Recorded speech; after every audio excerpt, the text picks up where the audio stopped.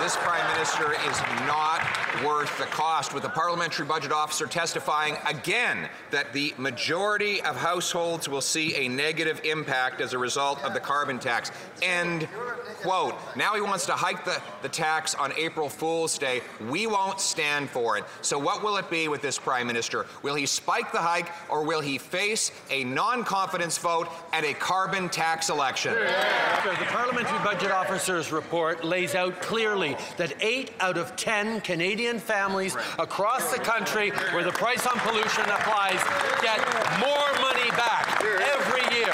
That's how we put more money in the pockets of Canadians while having one of the strongest plans to fight climate change around the world.